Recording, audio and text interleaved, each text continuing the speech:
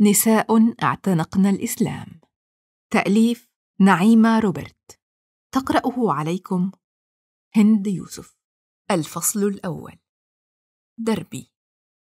ولدت في ليدز شمال إنجلترا حيث كان والدي ووالدتي قد اشتريا منزلا صغيرا ضمن صف من البيوت يقع على طريق ضيق قبالة صف آخر من المنازل الشبيهة به تماما. وبعد ثلاث سنوات انتقلت عائلتنا إلى إثيوبيا ثم إلى زيمبابوي عندما كنت في السادسة من العمر.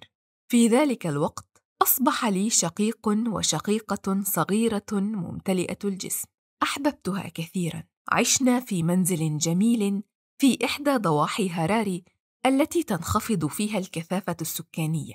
مع حوض سباحة وفدانين من الأزهار وحديقة خضروات وأشجار موز. خلال الثماني عشرة سنة الأولى من حياتي عشت مثل أي شابة أخرى أعرفها من الطبقة الوسطى في زيمبابوي. التحقت بمدرسة بنات في هراري وكنت أرتدي سترة موحدة وأعتمر قبعة من القماش. وترأست البنات عندما أصبحت في الصف السادس.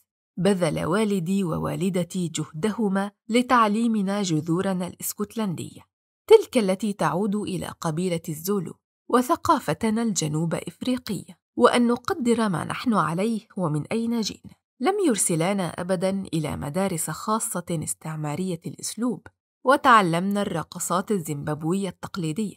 وغالبا ما كنا نشدو بأغان مناهضة للتمييز العنصري في أثناء سيرنا إلى المدرسة. وبالفعل كنا نشيطين سياسيا منذ عمر مبكر. وعندما أصبحنا أكبر سنا غالبا ما كانت الرغبة بالتوافق مع الأنداد ومحاكاة ما نراه على التلفاز تطغى على أفضل نوايا أهلنا. استمتعت بدراستي كثيرا وفزت دوريا بجوائز أكاديمية وفنية وفي مجالي الخطابه والمسرح في نهاية كل سنة. كنت فتاة منطلقة وواثقة من نفسي مفعمة بالحياة والأفكار نشيطة وأقوم بتطوير مشاريع جديدة دائما. على أي حال كنت إلى جانب شخصيتي المدرسية المتميزة فتاه حفلات أيضا. كما كانت حال جميع أصدقائي آنذاك. عشنا جميعا حياة مزدوجة إذا صح القول. وتفوق الكثيرون منا في المدرسة برغم ظهورنا المستمر في حفلات هراري. لم تكن مثلنا العليا مؤلفين كبارا أو مفكرين يدعون للمساواة بين الجنسين. برغم حصولنا فعلا على اشتراك في مجلة كوزموبوليتان الداعية إلى المساواة، ولم يكن مثلنا الأعلى كذلك بطلات كفاح التحرير الزيمبابوي المدعوات شيمورينغا. كانت مثلنا العليا الممثلات والمغنيات الأمريكيات وضمنهن فرق الفتيات TLC و Salt-N-Pepa. وجاء توجيهنا الأخلاقي من R&B موسيقى الراغا وفرق الراب. لم يكن بالتوجيه المهم كما سيخبركم أي شخص استمع مرة إلى 2 Live Crew وسنوب دوغي دوغ أو شابا رانكس في الواقع. العادات الجنسية والأعراف الاجتماعية لغالبية شباب هراري الباردين كانت مستوردة بالكامل من الشواطئ الغربية. كنا مثل الشباب في الكثير من الأماكن، مرتاح البال ولا شيء يؤرقنا. أرتعش دائما عندما أفكر في عدد المرات التي اقتربنا فيها من الخطر. نظرا لأسلوب حياتنا وافتقارنا إلى الحذر، كنا مهملين فيما يخص الشراب والقيادة، مخمورين. البقاء مع غرباء. الخروج وحدنا ليلا دون نقود. تحت رحمة شباب حمقى مثلنا. الإصابة بفيروس الزهري. فيروس اتش اي في المسبب لمرض الإيدز الحمل المبكر الإجهاض. سم ما شئت. فقد كنا قريبين من كل ذلك. على أي حال مرت سنوات مراهقتي بسلام دون أن أصاب بأذى. وفي جعبتي علامات جيدة في الامتحانات. لم يكن كل أصدقائي محظوظين بذلك القدر. بخلاف غالبية الزيمبابويين نشأت في أسرة غير متدينة. كانت والدتي وهي امرأة بارعة الجمال من الزولو قد ولدت ونشأت نصرانية لكنها عاشت حياة مدنية صاخبة في جوهانسبرغ وعملت ممرضة فيما كانت تحصد جوائز الجمال وبطولات الرقص. خالفت والدتي التقاليد وقوانين التمييز العنصري ووقعت في حب والدي الجنوب إفريقي الأبيض. برغم تلقين والدي أنه صاحب امتياز ومتفوق على ما سواه في مدارس خاصة بالبيض إلا أنه رفض المعيار العنصري لنظام الفصل واحتضن الكفاح المناهض له في المسرح الثابت الجذور. في حال كان هناك إفريقي أبيض سيكون هو. كان والدي ماركسيا ملتزما وسفسطائيا أي شخص يقول إنه لا يمكن معرفة شيء عن الله. لهذا عندما كنا اطفالا قيل لنا إن الإنجيل مليء بحكايات الجان وقد صدقنا ذلك.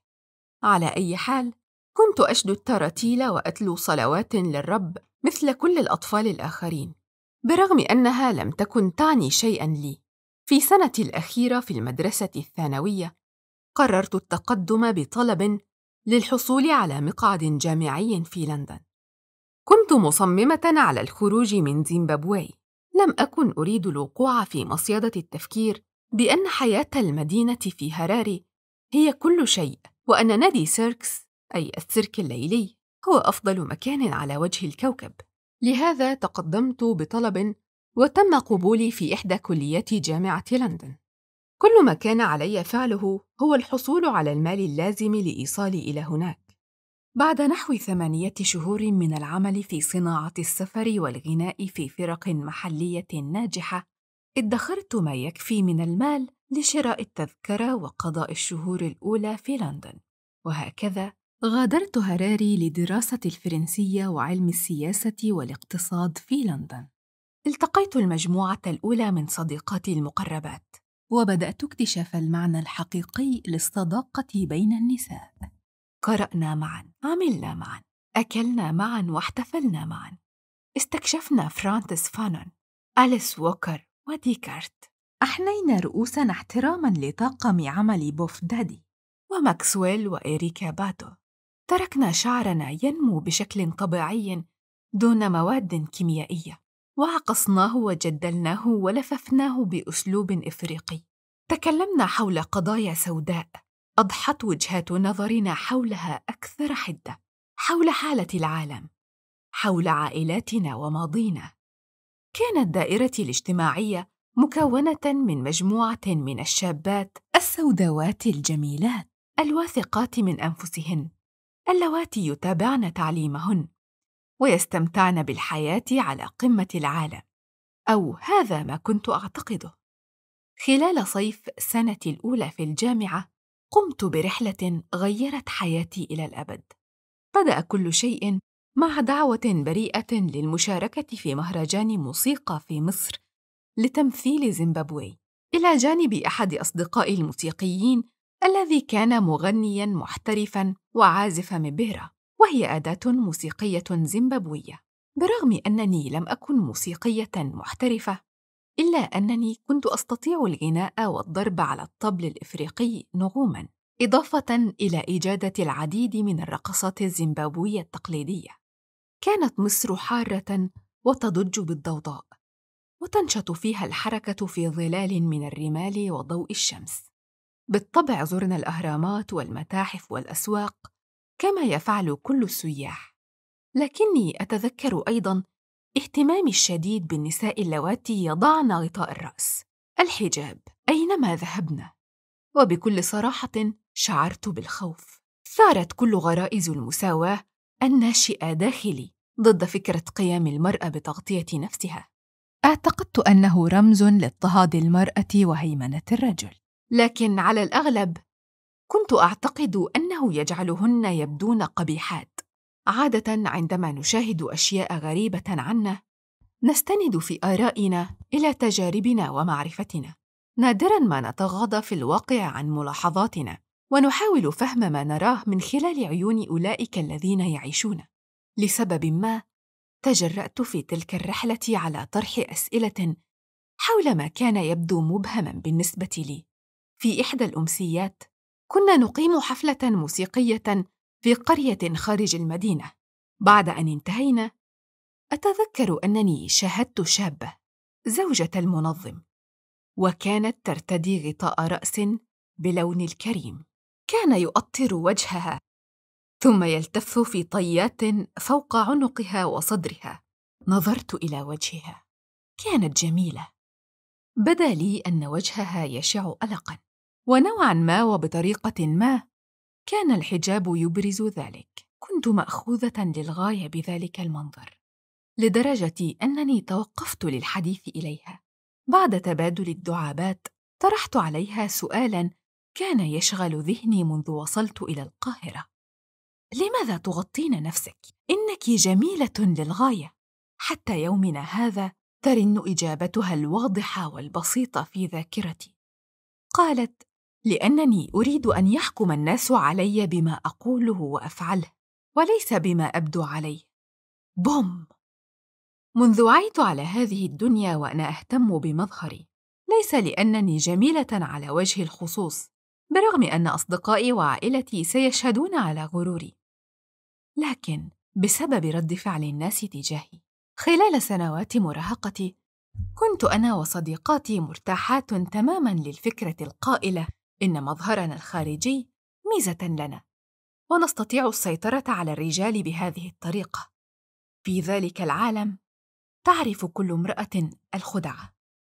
عندما تذهبين إلى مقابلة عمل تأكدي أن يكون مظهرك على أحسن ما يرام. وإن كان من تقابلينه رجلا فربما ينبغي عليك أن تكشفي ساقك قليلا تضحكين على دعاباته. تمدين شفتيك قليلا ليدعوك إلى الغداء. على ذلك النوع من الأشياء تنشأ معظم النساء وهن يعرفن تلك الخدع ويستعملنها بوعي أو عن غير إدراك.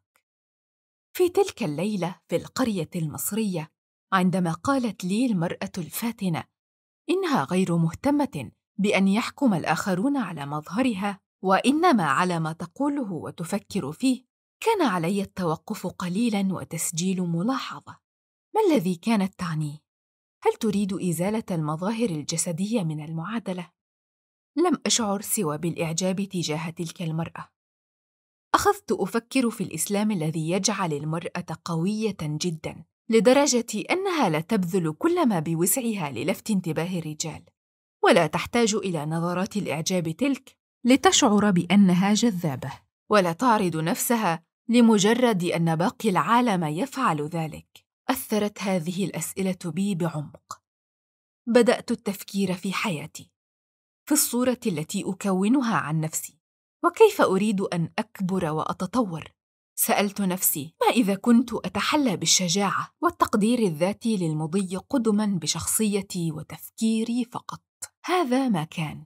وبدأت في تلك الرحلة المصيرية إلى مصر في صيف عام 1998 بالتفكير حول الإسلام. ودارت عجلة التغيير. وبدأ أن الحديث مع تلك المرأة الجميلة التي أثارت إعجابي بقوة شخصيتها قد فتح عيني. فجأة بدأت أشاهد التقوى في كل مكان حولي في المساجد في الشوارع وفي كل مكان. في ذلك الوقت بدأت أهتم بكلمات التقوى التي تلفظ بالعربية. بسم الله. الحمد لله. إن شاء الله. ما شاء الله. شعرت في الوقت نفسه بالدهشة والفضول لأنني أدركت فجأة أن لدي جانبا روحيا لم يسبق لي استكشافه من قبل. شعرت بالقلق لأنني لم أكن أعرف الكثير عن أحد أعظم أديان العالم. كنت ممتلئة بالنصرانية ولم تحرك كل دروس الثقافة الدينية التي حضرتها في المدرسة مشاعري. وعلقت ذكرى قراءة الإنجيل وصور المستعمرين حامل البنادق في ذهني بشكل لا يمكن طمسه. كان شبه مستحيل بالنسبة لي فصل النصرانية عن كل عواملها الثقافية وعن الإمبريالية التي نقلتها إلى إفريقيا.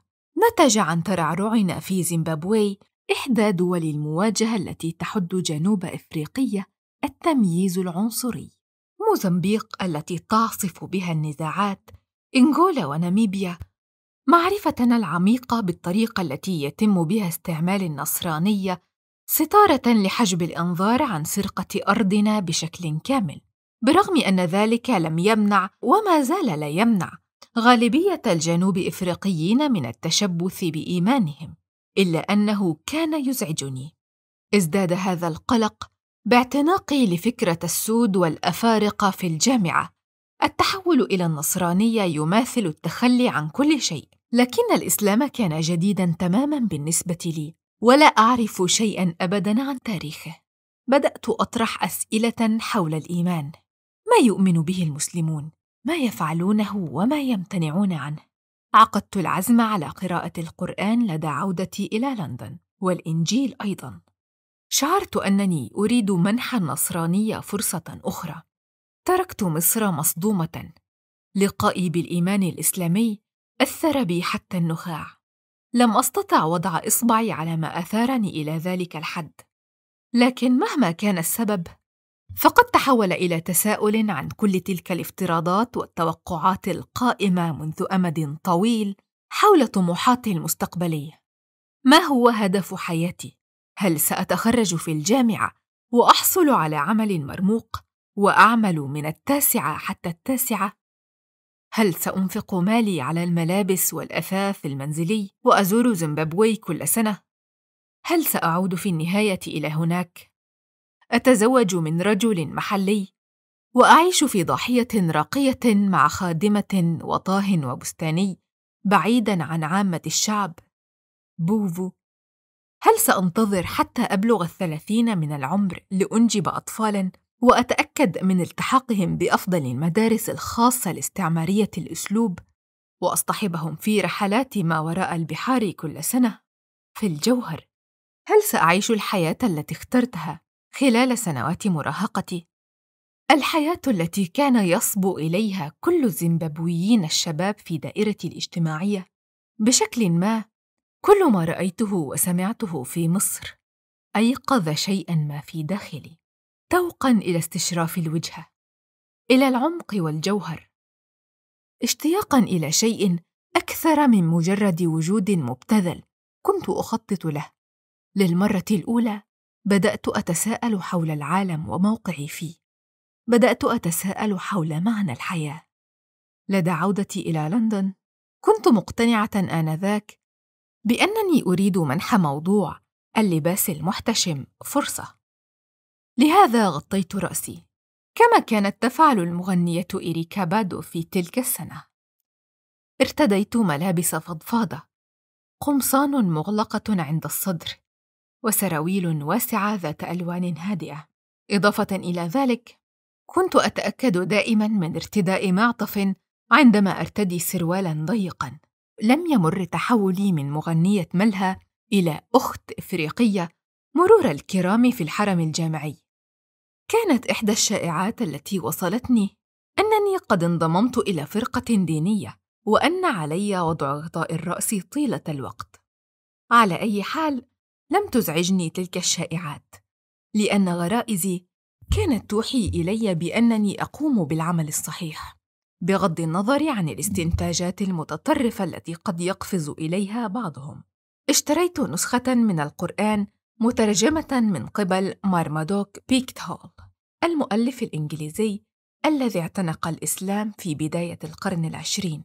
لخوفي الشديد لم أستطع استيعاب معانيه العظيمة بغض النظر عن دروس الثقافة الدينية في المدرسة إلا أنني نشأت خارج تقاليد الكتاب المقدس.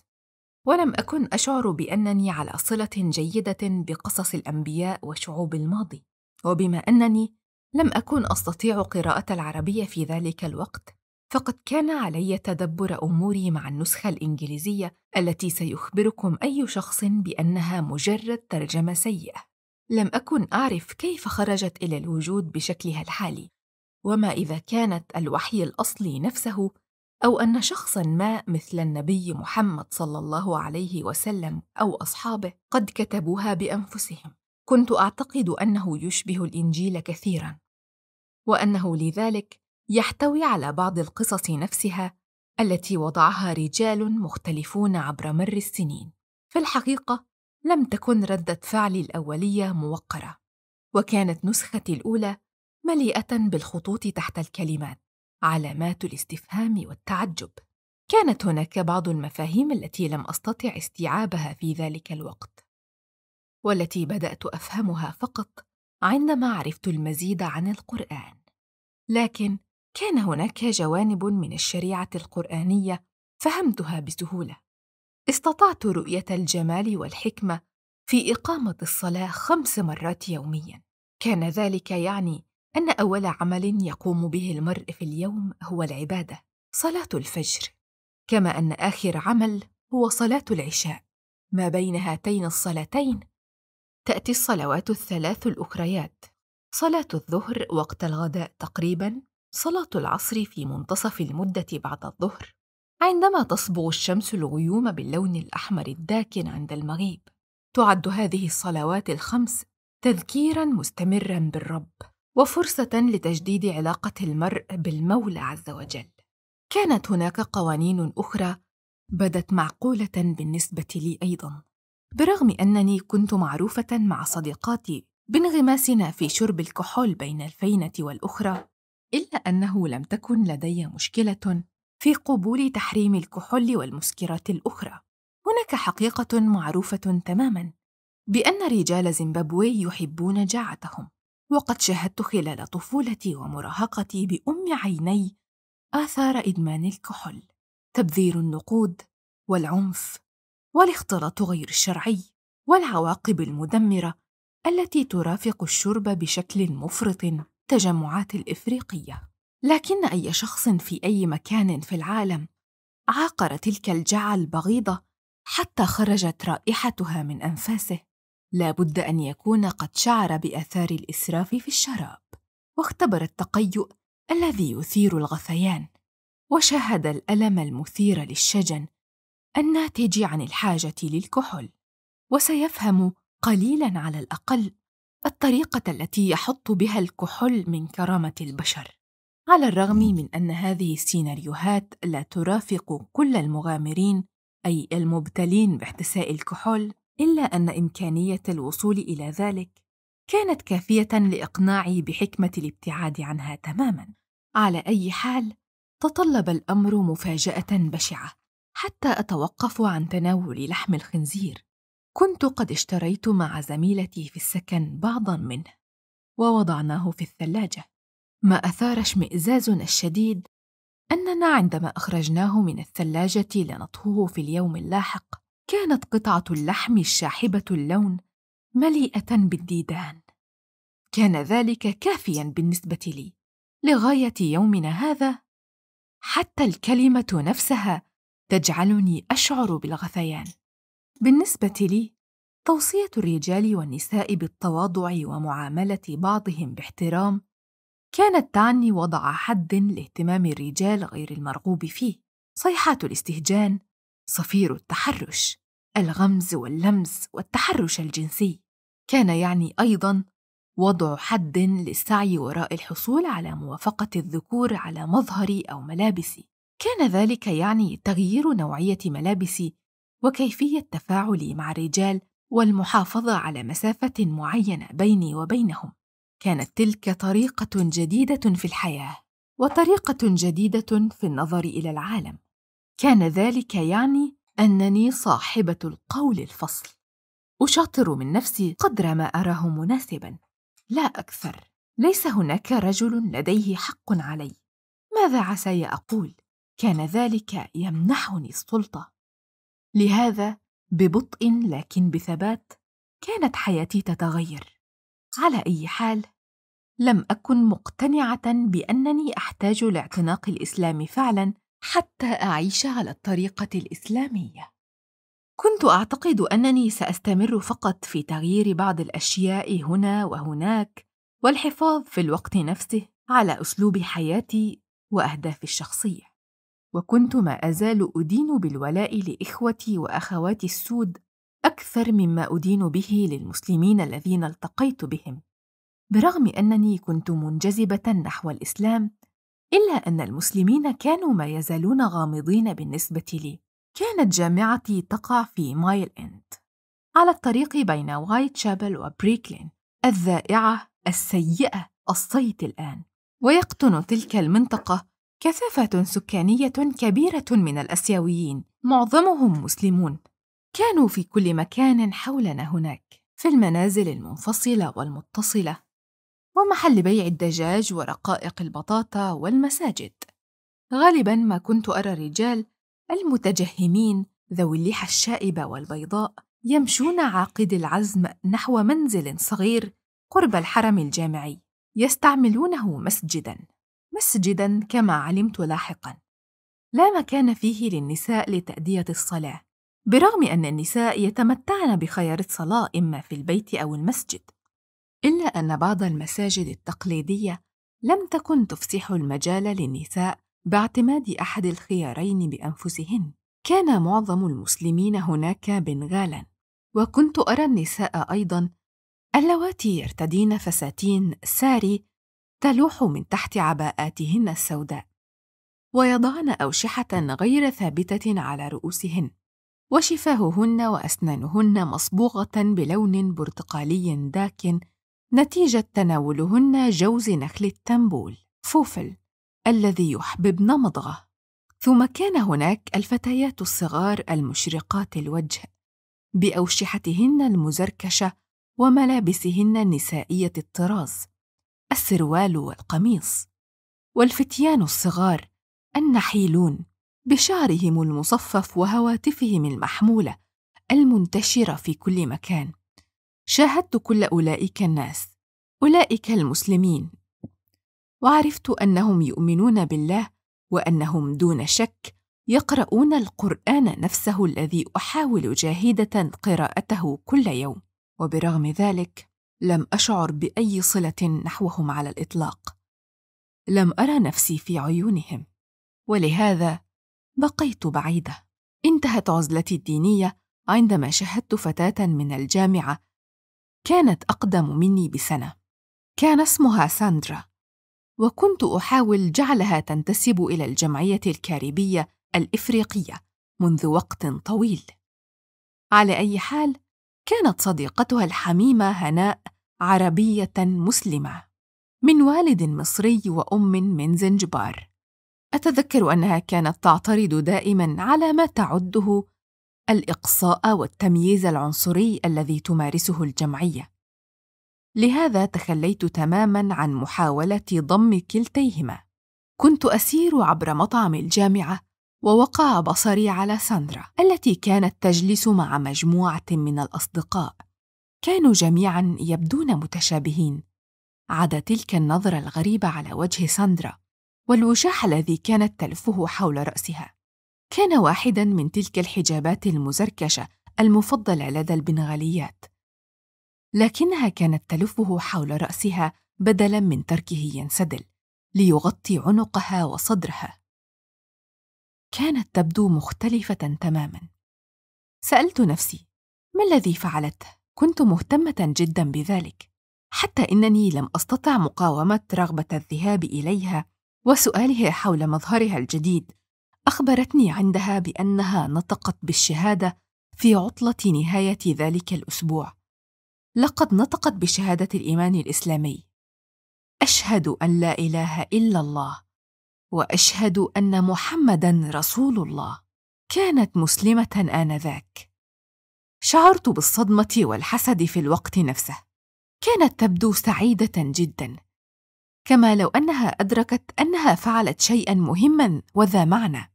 وأن ما قامت به هو الصواب. لقد خطت خطوة شجاعة خطوة كنت خائفة جدا من الإقدام عليها. تمالكت نفسي لأقول أنت أكثر شجاعة مني. ثم أخبرتها عن خطواتي المترددة نحو الإسلام وعن تحفظاتي.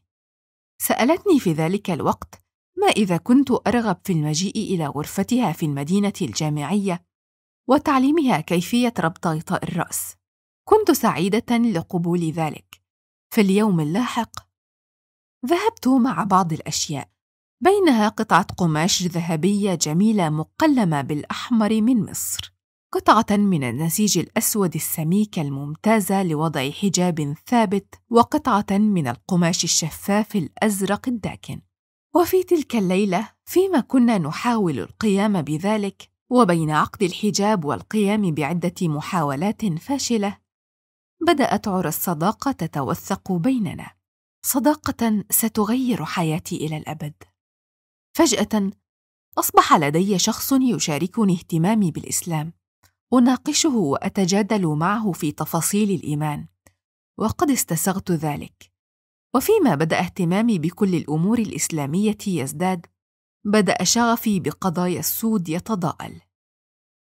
لم نكن نناقش قضايا جدية حقا وأصابني الإحباط خاصة من الطريقة المتكررة التي نناقش بها الموضوعات نفسها. سنة بعد أخرى وفيما استمرت النقاشات القديمة نفسها حول الهوية الإفريقية مقارنة بالكاريبية ومخاطر العلاقات بين السود والبيض والأغاني المناهضة للنساء وتلك التي تحض على العنف في رفع حرارة اجتماعاتنا بدأ قلبي يشعر بالاستياء بشكل غريب. بدأ كل ذلك سطحيا جدا ولا معنى له. هل كانت تلك حقا أهم القضايا التي تواجهنا بصفتنا بشرا؟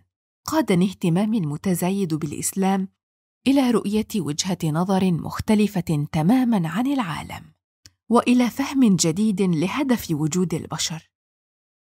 ووجدت من الصعوبة بمكان أن أتجاهل كل ما كنت أعرفه آنذاك. كانت القشة التي قصمت ظهر البعير بالنسبة لي عندما نظمت الجمعية عرضا للفيلم الجامايكي ملكة الرقص. ضمن أمسية ثقافية. شعرت عندما جلست في القاعة المظلمة أستمع إلى موسيقى الراغة تصدح من حولي وأنظر إلى الأجساد التي تتلوى على خشبة المسرح والسيقان المنفرجة. المكسوة بالكاد والأحذية التي تصل إلى الفخذين بأنني بعيدة جدا ومنعزلة تماما عما يجري. فكرت في قرارة نفسي بأنني لا أريد الاستمرار على المنوال نفسه وأنني لم أعد أنتمي إلى ذلك المكان. لهذا نهضت غادرت القاعة وذهبت إلى مصلى الطلاب في الجانب الآخر من الحرم الجامعي. كنت بحاجة للوجود مع أشخاص آخرين يكونون على الموجة نفسها معي. كنت بحاجة إلى صحبة مفيدة. كنت بحاجة إلى العمق والمعنى. كنت بحاجة إلى غذاء الروح. أدركت وقتها أنني لم أعد أرتاح تماما لشخصيتي القديمة وأن قلبي يتحول. شيئا فشيئا. نحو الإسلام. لكن برغم كل اشتياق قلبي كانت هناك أمور ينبغي أخذها في الحسبان وأيديولوجيات وسياسات كيف يمكنني وأنا المرأة الإفريقية السوداء كما كنت أرى نفسي في ذلك الوقت؟ دون أن أمانع كوني من أصول مختلطة أن أعتنق الإسلام مما كنت أراه آنذاك. كان الإسلام دينا للأسيويين والعرب. كان أولئك هم المسلمين الوحيدين الذين سبق ورأيتهم من قبل. فشلت في تخيل قدرتي على التوافق مع طريقة الحياة تلك دون أن أخسر شعوري بالهوية. وملأتني فكرة اعتناق دين قد يبعدني عن عائلتي وأصدقائي وتقاليد أسلافي بالرعب. كانت صديقتي الجديدة ساندرا صبورة للغاية معي عندما كنت أثير تلك الاعتراضات. أعتقد أن جزءا منها كان يرى الخلفية التي جئت منها لكن جزءا أكبر منها كان يتساءل عن سبب تشبثي الشديد بفكرة الهويه الإفريقية. كان الأمر بالنسبة لها بسيطا إذ كان الإسلام هو الحقيقة. فكل تلك الأشياء الأخرى ثانوية.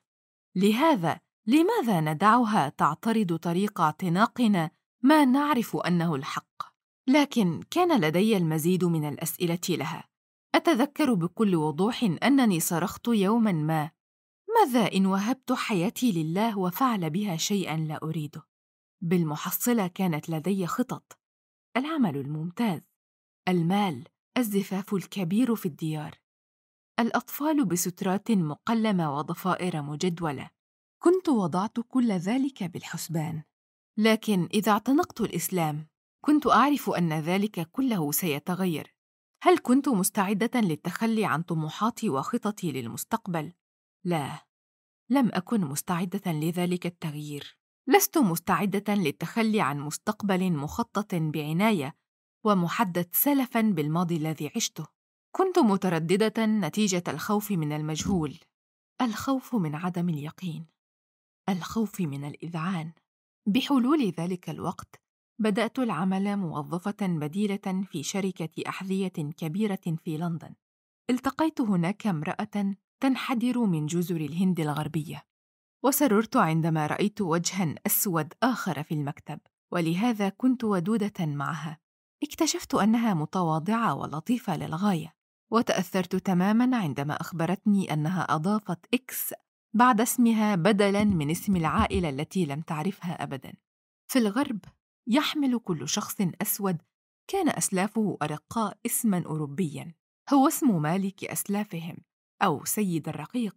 تغيرت أسماءهم الإفريقية الأصلية الآن التي لم تعد معروفة على الأغلب. سرعان ما اكتشفت أن عادة استبدال اسم العائلة الرقيق بحرف إكس هي ما يفعله مناصرو ما يدعى أمة الإسلام.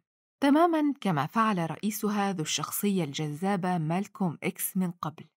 لهذا عندما أخبرتني مونيكا أنها تذهب بانتظام إلى المبنى الخاص بأمة الإسلام في شيبردز بوش ودعتني لمرافقتها. كنت متلهفة للذهاب واختبار ذلك بنفسي. ربما كان ذلك ما أنتمي إليه. نسخة سوداء من الإسلام. لهذا في أمسية اللقاء اللاحق ذهبنا معا وكانت تلك مواجهتي الأولى مع أمة الإسلام المثيرة للخلاف. وصلنا إلى قاعة الاجتماع.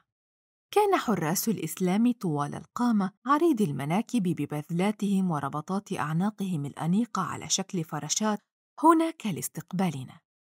ضمن جوقة من كلمات الترحيب مثل السلام عليكم يا أخوات السود السلام عليكم يا ملكات السود قادونا إلى مقصورة في أعلى السلالم حيث تم تفتيشنا. وكانت تلك عادة متبعة نوعا ما في اجتماعات أمة الإسلام. كانت المرأة في المقصورة ترتدي ما بدأ أنه لباس رسمي. فستانا أزرقا داكنا وغطاء على رأسها. يشبه ما ترتديه الراهبات إلى حد بعيد والذي يغطي شعرها وينسدل خلف أذنيها حتى ظهرها. وأتذكر أن كفاءتها وجديتها أعجبتني. وهو شيء نادر ما وجدته في منظمات السود التي عرفتها.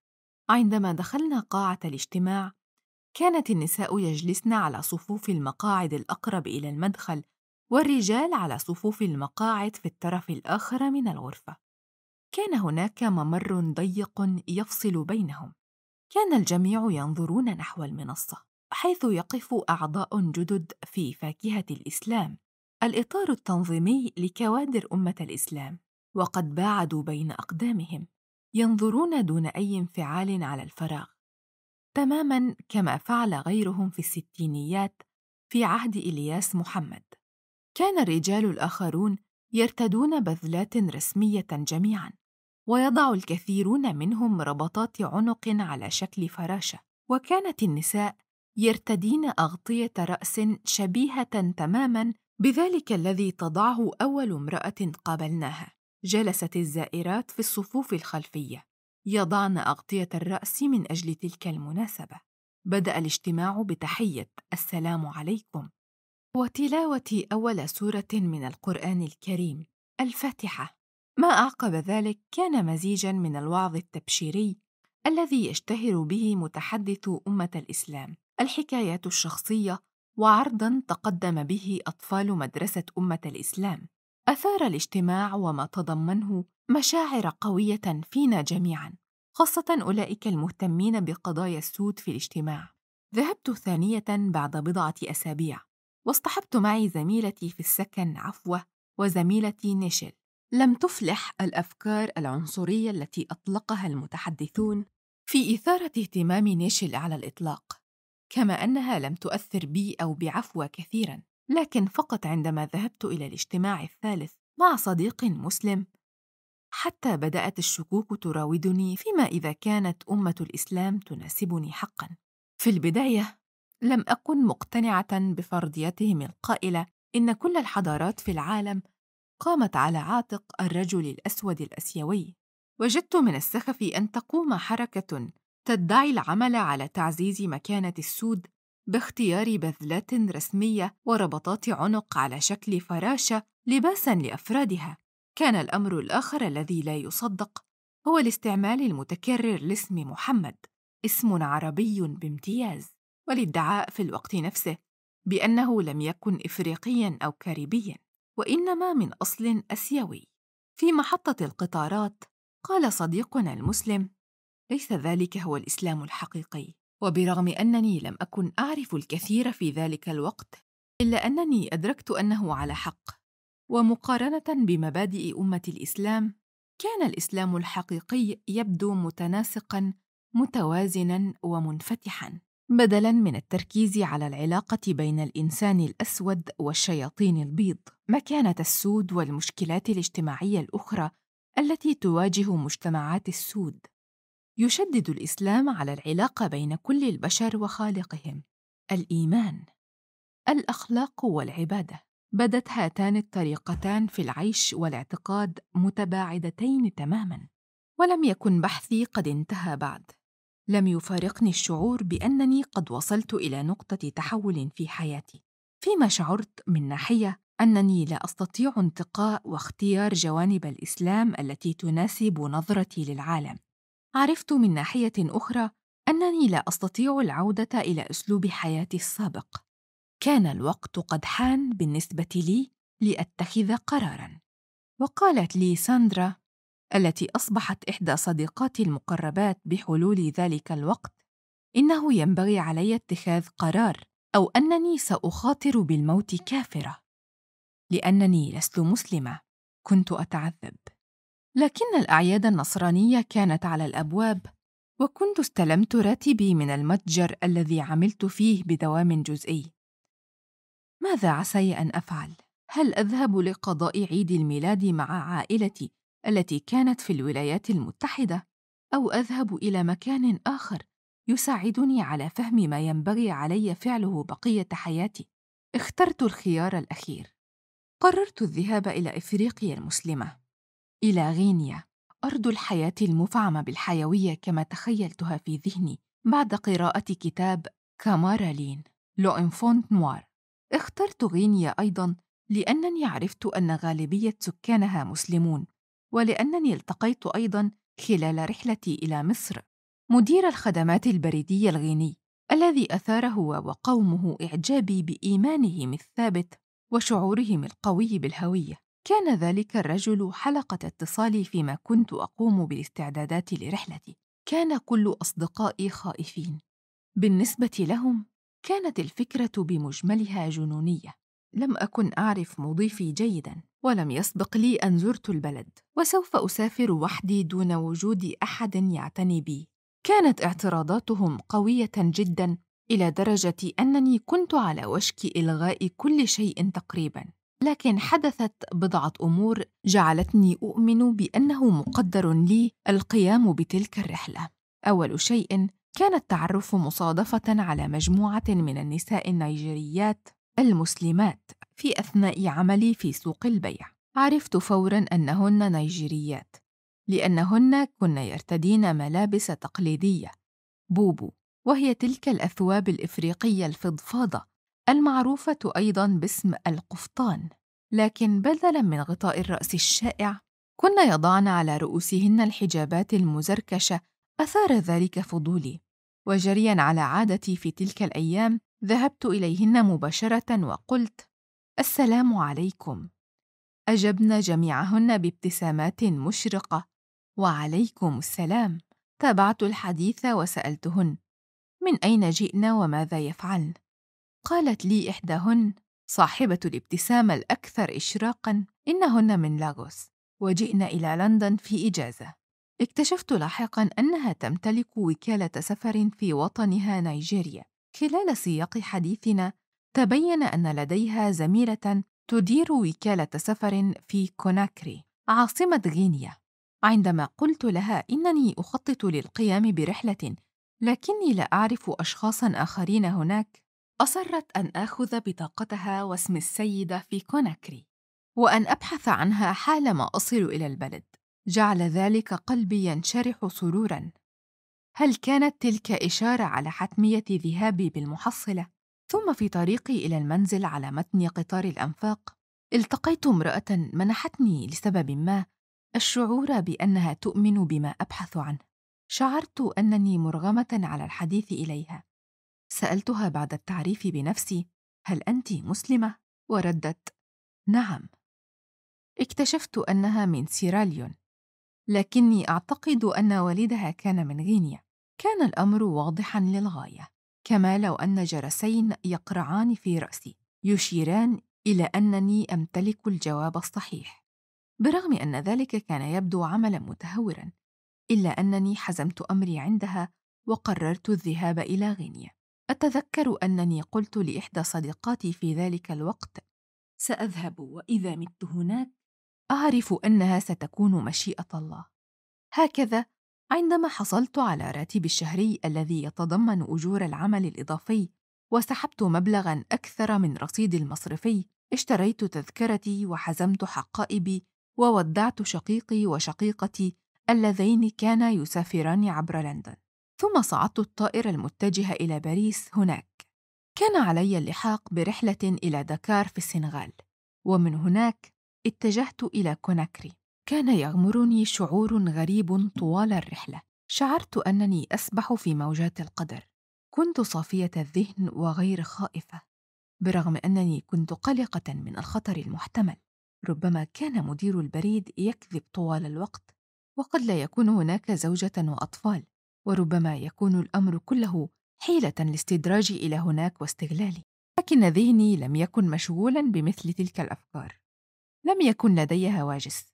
في الوقت الذي وصلت فيه إلى قاعة العبور في باريس كنت أعرف أنني أريد أن أكون مسلمة. كنت أريد أن أكون مثل أولئك الناس من حولي الذين يتمتعون بثقة كبيرة بالنفس ويبدون قانعين باعتناقهم الإسلام. هذا اقتباس من دفتر المذكرات الذي احتفظت به عندما كنت هناك. انتابتني مشاعر قوية لدى رؤيتي للمسلمين السنغاليين أول مرة. إنهم يبدون مثل قومي. ارتعش صدري وامتلأت عيناي بالدموع. الحمد لله. الرجال يتجادلون بشأن موضوع ما الآن. هل يتكلمون العربية؟ خواتم فضية في كل مكان. ومدرب يرتدي ملابس أديداس. ينظر من خلف رجل عجوز. الرجل العجوز يرتدي بوبو بنيا ووشاحا من قماش مشمع يمنع نفاذ الماء على رأسه. أعجبني كثيرا منظر هؤلاء المسلمين المختلفين تماما عن أولئك الذين قابلتهم في إنجلترا.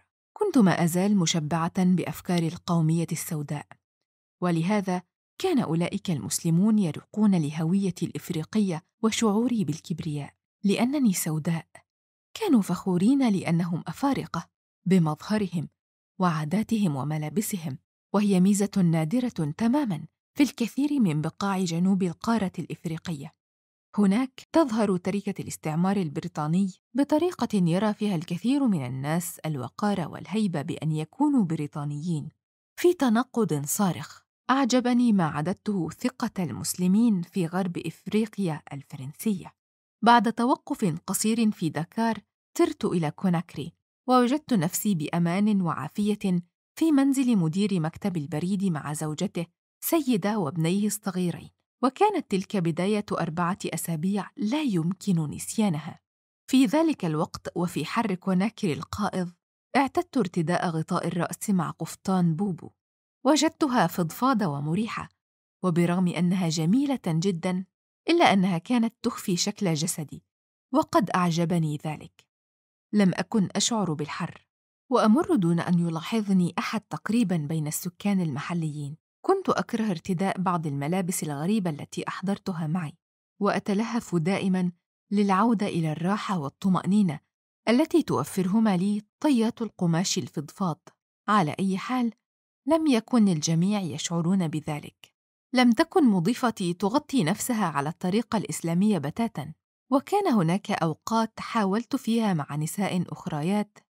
اقناعي بالتخلي عن بوبو العجائز لصالح الجينز الذي يمكن شراؤه من السوق. غني عن القول إن الفكرة أخافتني وإنني رفضت كل مرة. أولاً لم أكن مهتمة بالعودة إلى ارتداء الجينز. وثانياً لم أكن لأتجول مرتدية جينزا من سوق غير غني بالمحصلة كان علي المحافظة على انطباع ذهني معين. ازدادت الرغبة في حماية نفسي مع البوبو نتيجة حادثة وقعت معي وتتعلق بواحد من أغنى الرجال في غينيا في ذلك الوقت. منذ أعلنت رغبتي بأن أصبح مسلمة كانت هناك قضية واحدة تشغل بال الجميع. من سأتزوج؟ لأكون صادقة. لم يكن الزواج في مقدمة اهتماماتي حتى ذلك الوقت. لكن هناك وفجأة أخذت الفكرة تشغل ساعات يقظتي. كان لدى الجميع شقيق عم أو ابن عم قد يصبح زوجا رائعا لي. دفعني ذلك إلى الجنون بالتأكيد. إحدى الخيارات المحتملة كانت ذلك الرجل الفاحش الثراء الذي يتمتع بنفوذ كبير في كوناكري ويبلغ من العمر ضعف عمري تقريبا. فكرت عائلة مضيفي أنه سيكون قرينا رائعا لي وشجعته على المجيء إلى المنزل وسرد أحاديثه السخيفة أمامي. دعانا في إحدى الأمسيات لزيارة مقر فريقه لكرة القدم الذي كان يقع في أحد فنادق الخمس نجوم بالمدينة عندما شاهدت سيدة أنني أرتدي بوبو اختلقت مشكلة وأصرت على قيامي بارتداء شيء يجعلني أبدو أصغر عمرا. أكثر أناقة وأقل حجما. استسلمت لها بكل غباء. قضيت بعدها واحدة من أكثر الأمسيات ازعاجا في حياتي. تجاهلني الرجال الذين تحدثوا عن كرة القدم وكان واضحا أنني محط إعجاب. لكن دون أن أتدخل في الحديث الغريب تماما بالنسبة لي أنه غالبا ما يتوقع الرجال من النساء قبول هذا الدور. يجب أن يكن مع رجل يعتني بهن ويكيل لهن المديح والإطراء لكن لا يتحدث معهن أو يعبر عن أي فكرة عقلانية بحضورهن. الغريب أيضا كيف يستمع الرجل إلى تعليقات الإعجاب بامرأته من أصدقائه الذين يحسدونه ويشتهونها سرا. يجعله ذلك يشعر بأنه رجل. فحل. كما لو أن مظهرها الحسن يثبت جدارته وذوقه الرفيع. لم أكن مرتاحة لذلك أبدا برغم أنني مثل الكثير من الشابات الحساسات اللواتي يسعين إلى الحصول على استحسان الآخرين. غالبا ما كان ذلك جزءا من السلوك في حياتي. في تلك الأمسية الحارة في كوناكري شعرت بالإذلال وغضبت من نفسي لأنني استسلمت ولم أتمسك بما أؤمن به. تركت الرجال فجأة على نحو فظ وذهبت إلى الشاطئ على حافة حديقة الفندق. حيث استطعت تذوق الرذاذ المالح من الأمواج التي تتكسر على الصخور. كنت على الأقل ما أزال أضع غطاء الرأس. كان ذلك غريبا. لكن برغم أن غطاء الرأس ليس شكلا اسلاميا بحتا إلا أنه أصبح هاجسي في تلك الأيام. طالما كنت أضعه كنت أشعر بأنني أستطيع الحفاظ على كرامتي ومبادئي وعرفت أنني إذا خسرت ذلك فسأكون قد فقدت أكثر من مجرد الغطاء على رأسي. سأكون قد فقدت الكفاح من أجل هويتي الجديدة. عقدت العزم في تلك الأمسية. ألا أسمح لأحد بدفعي إلى مثل ذلك الوضع المثير للشبهات مجددا. كانت أيام شغفي بإثارة اهتمام الرجال. قد انتهت. انتشرت الأنباء عن عنادي في نطاق عائلتي وأصدقائي. وتعاطفوا معي وأطلقوا علي لقب. الحاجة تلك التي تحج إلى مكة. كان سبب ذلك أنه من الشائع للناس في العالم الإسلامي عيش حياة غير إسلامية ابدا حتى يبلغوا منتصف العمر ويقوموا بأداء فريضة الحج.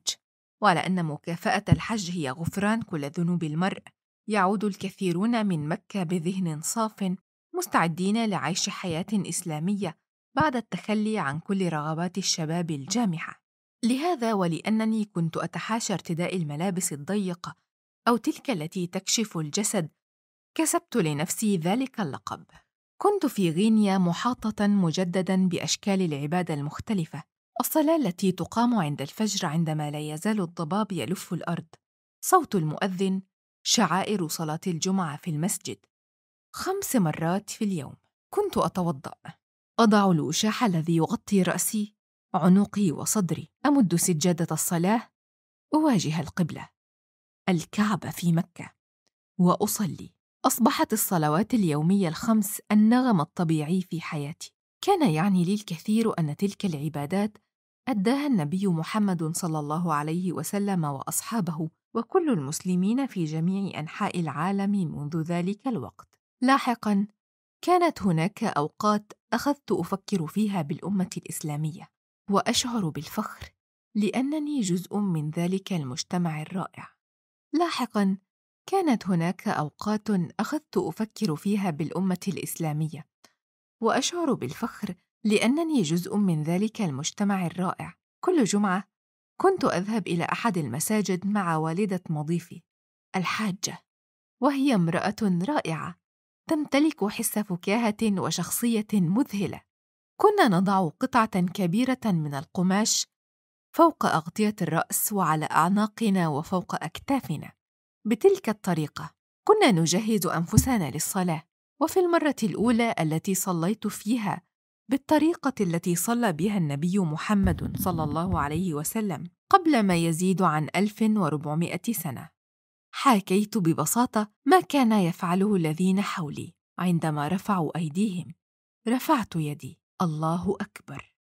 عندما انحنوا إلى الأمام من الخصر في الركوع فعلت الشيء نفسه. سبحان ربي العظيم. عندما سجدوا سجدت معهم. سبحان ربي الأعلى. هل هناك وضع أكثر رمزية في علاقة الإنسان بربه من السجود؟ يحني الإنسان الذي يسير متباهيا وفخورا للغاية بنفسه جسده بإرادته حتى يضع وجهه على الأرض تذللا أمام خالقه. وجدت هذه الوضعية رمزية للغاية. في تلك اللحظة في أثناء السجود شعرت بأنني أقرب ما يكون إلى الله الذي يلهج لساني باسمه بسهولة الآن. كنت أستطيع في ذلك الوقت التكلم معه بسهولة أن أتضرع إليه أفضي إليه بمكنونات نفسي وأذرف الدموع بين يديه. لقد تعلمت حب الله في أثناء السجود. في أول أيام الجمعة عندما عدنا إلى منزل الحاجة علمني أحد الرجال كيف أتلو السورة الأولى من القرآن. بسم الله الرحمن الرحيم. الحمد لله رب العالمين. الرحمن الرحيم مالك يوم الدين. إياك نعبد وإياك نستعين. اهدنا الصراط المستقيم. صراط الذين أنعمت عليهم غير المغضوب عليهم ولا الضالين.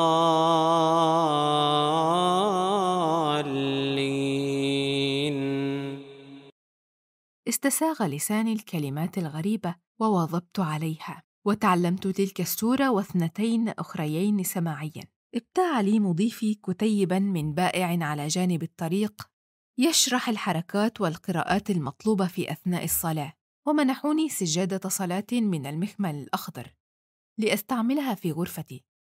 علموني أيضا كيفية الوضوء وهو طقس الطهارة الذي يقوم به المسلمون قبل تأدية الصلاة في الحمام المكسو بالسيراميك الأزرق نويت الوضوء ثم غسلت يدي ثلاث مرات. وسال الماء البارد من بين أصابعي وفوق معصمي. وبيدي اليمنى حملت الماء إلى وجهي وقمت بالمضمضة والاستنشاق في الوقت نفسه.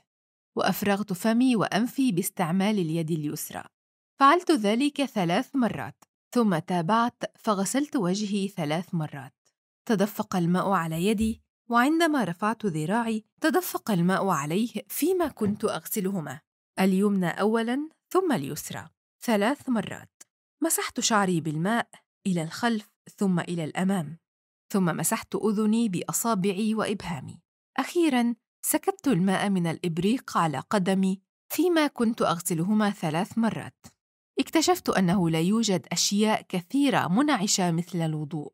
وخاصة خلال الأيام الرطبة في غينيا كان يجعلني أشعر بالنظافة والانتعاش ومستعدة للصلاة في الظل داخل غرفتي وكانت الظلال من الأشجار خارج نافذتي ترسم أشكالاً على سجادة صالات الخضراء والأرضية الفخارية. مرت الأيام بسرعة في كوناكري، وكانت مليئة برحلات إلى السوق والصلاة، شراء بوبو جديد، والأحاديث بالفرنسية مع الجيران والأشخاص الآخرين الذين التقيناهم. تعلمت أيضاً بضع عبارات باللغة المحلية سوسو، وغالباً ما كنت أستعملها مما كان يثير سرور مضيفي. ثم حل علينا شهر رمضان فجأة، واستطعت أن أشعر بالإثارة في الجو. بالنسبة لي، لا يوجد شيء مثل الوجود في بلد إسلامي في أثناء رمضان. لا يوجد شيء في تجربة المسلمين في الغرب يضاهي ذلك، سواء من حيث الطقوس أو الشعور بالتضامن، ولا شيء يشبهه أبداً. لغاية يومنا هذا، أتذكر حسن الصحبة التي انبثقت عن معرفة أن الجميع حسناً الجميع تقريباً كان ممتنعاً عن الطعام والشراب والعلاقات الجنسية من الفجر حتى المغيب ومثل معظم بقاع العالم الإسلامي كنا نأكل جيدا بعد غياب الشمس ارزا معطرا وسمكا كثير البهارات خبزا حلوا طازجا من أفضل فرن في البلدة بيسابا حلوا لاذع الطعم مصنوعا من أوراق الحماض حبق خرساني وماء الزهر الكسكس الساخن والدجاج المشوي واختصاص سيدة سلطة الذرة الحلوة. بعد أن نأكل كفايتنا كنا نتوضأ ونسير فوق التراب الرطب آنذاك إلى المسجد على ناصية الطريق حيث ستقام صلاة العشاء. كانت النساء اللواتي يرتدين البوب بألوان متعددة ويلقين بأوشحتهن شبه الشفافه فوق أكتافهن. يملأن دائما القسم العلوي من المسجد وقت الصلاة خاصة عندما يحين وقت صلاة التراويح.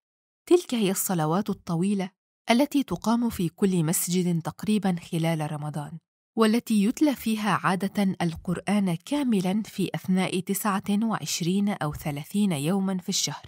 هكذا يوما بعد آخر أخذت أشعر بالارتياح بوصفي مسلمة بين هؤلاء القوم الذين كانوا غرباء عني قبل شهر مضى. عاملني أولئك الذين استضافوني كما لو أنني ابنتهم. وانتابني شعور قوي بالانتماء بينهم. كنت واحدة من العائلة وحاضرة في زياراتها رحلات التسوق وحفلات الزفاف. لم يتركوني وحيدة على الإطلاق. وغني عن القول إنني لم أشعر بأي توتر.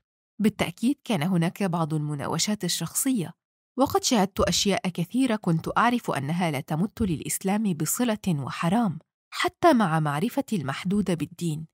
لكني رأيت أيضا أن الإسلام شيء يعيشه الناس وأنه ليس مجرد فكرة مثالية. كنت أعرف آنذاك أنني أستطيع عيشه أيضا. السؤال الوحيد حينها كان بمن سأتزوج؟ لكن ينبغي أن أذكر هنا برغم الصلاة والصيام وتغطية الرأس إلا أنني لم أكن قد نطقت بالشهادة. لم أكن مسلمة بعد. عدت من غرب إفريقيا امرأة أخرى. لم يكن لدي شكوك بأن الإسلام يناسبني. كنت قد بدأت عملية الاستسلام أو الخضوع في يوم كئيب في لندن. بعد بضعة أسابيع من عودتي سرت مع صديقتي ساندرا إلى المسجد الكبير في منتزه ريجنت.